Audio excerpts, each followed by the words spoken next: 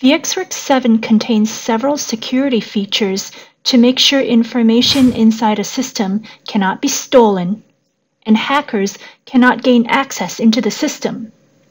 TrueCrypt compatible containers ensure that contents of file systems, including configuration data, application data, and binary executables, are encrypted, preventing data theft and reverse engineering of stolen systems.